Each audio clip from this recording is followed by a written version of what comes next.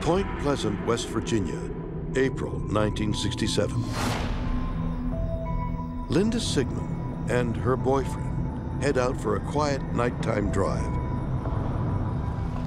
Far beyond the city lights, they pull over to do some amateur stargazing. After a few minutes, they realize they're not alone. We got out and we sat on the car and we're sitting there talking for a little bit and I noticed a bright star over to my right.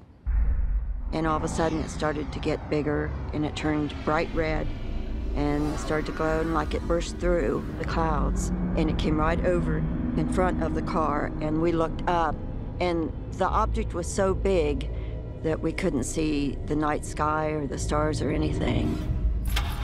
My boyfriend tried to start the car and it wouldn't start. Finally got the car started and we started to pull forward and I saw him.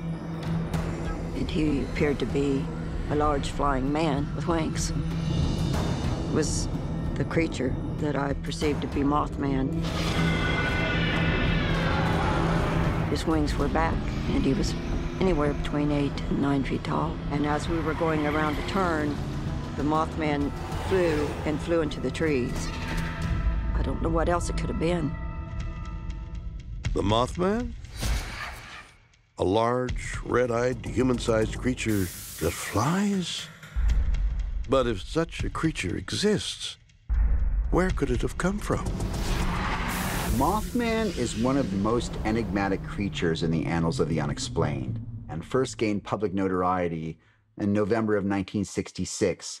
And within a matter of days and weeks, there were dozens or perhaps hundreds of sightings of this creature around the Point Pleasant area, causing a mass hysteria situation. Skeptics have attributed the Mothman sightings to a misidentification of giant owls or even a crane that is local to the area.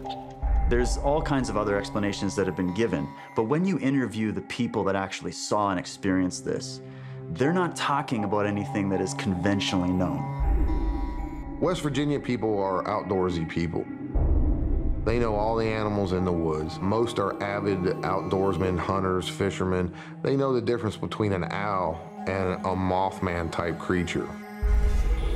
We have to consider that the Mothman's behavior, which involved chasing cars at over 100 miles an hour, taking straight up off the ground like a helicopter, none of those would indicate any type of flesh and blood animal. Chasing cars at over 100 miles an hour. If true, then this thing is no owl. At least not a normal one. What do you think? Are creatures like the chupacabra, goatman, and the mothman real? Or are they figments of overactive imaginations? Perhaps mankind is so good at creating its own demons that they become real. And we say we want to find them, capture them, and study them. But perhaps all we really should do is leave them alone. Let them stay in the shadows. Let them remain the unexplained.